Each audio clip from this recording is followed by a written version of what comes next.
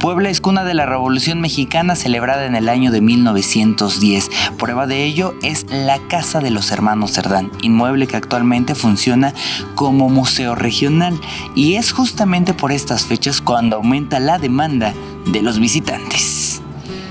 Fue aquí donde los hermanos Cerdán, Carmen, Maximiliano, Aquiles y Natalia iniciaron la gesta contra Porfirio Díaz el 18 de noviembre de 1910, dos días antes de la fecha original programada.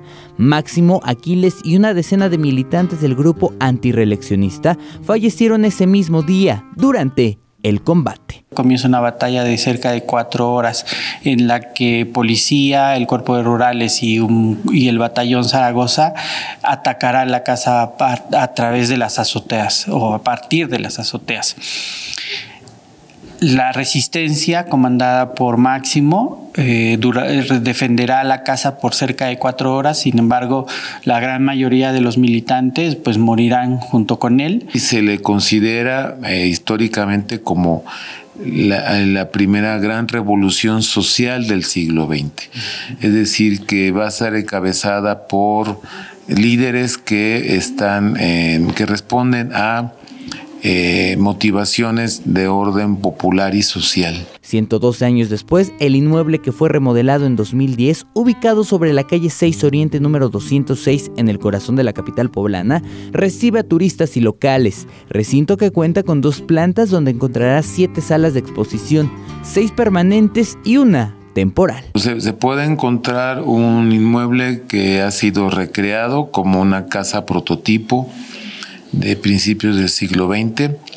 Se puede encontrar también un conjunto de colecciones, eh, documentos, fotografías, obras de arte eh, que derivaron de la gesta de los Cerdán.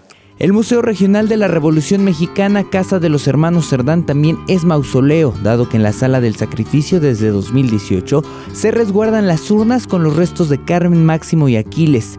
En esta misma habitación, Aquiles se escondió junto con el armamento pesado, pero al salir fue acribillado. Y otra de las salas que llama la atención es la del espejo. Aquí los espectadores podrán apreciar cómo quedó el espejo y las paredes durante el intercambio de balas el 18 de noviembre de 1910.